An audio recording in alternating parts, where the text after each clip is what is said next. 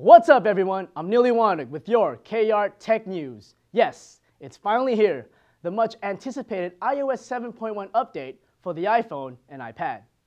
iOS 7.1 features a more responsive and personable Siri.